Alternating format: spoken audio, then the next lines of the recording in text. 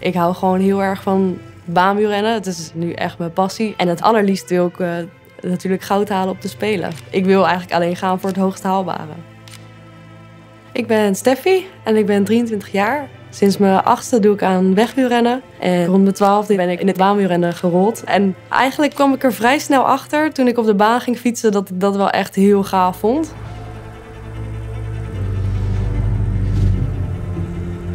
Ik moet natuurlijk elke dag opstaan met volle overtuiging dat ik de Spelen ga halen. En ik ben daar ook echt van overtuigd. Maar goed, ik moet het nog wel doen. Dus elke dag uh, volle bak daarvoor, me daarvoor inzetten. Want die strijd is nog zeker niet gestreden. Twee zussen boven mij die, die deden al aan wegwielrennen.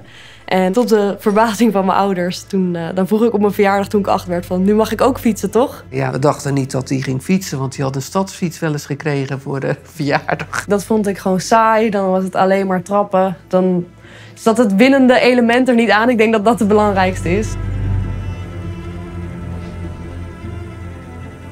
Steffi is iemand die... Uh, graag wint en niet zo heel goed uh, tegen haar verlies kan. Het is regelmatig gebeurd dat dobbelsteentjes door de kamer vlogen van nijd. En dat zit in het wielrennen toch wel een beetje bij dat ze zo graag wil winnen, zo graag wil presteren. Je moet elk moment klaar zijn om alles te kunnen geven. Dus dat is wel heel erg gaaf dat die adrenaline zo hoog zit. Daarbij is het natuurlijk ook nog wel mooi dat je de snelheid voelt van de baan. Vorig jaar werd ik derde op het WK met de Keirin. En nou, op die dag verbaasde ik mezelf gewoon zo erg. Dat zal ik echt nooit meer vergeten. Dat zijn wel momenten als je dan in een stadion, uh, uitverkocht stadion staat.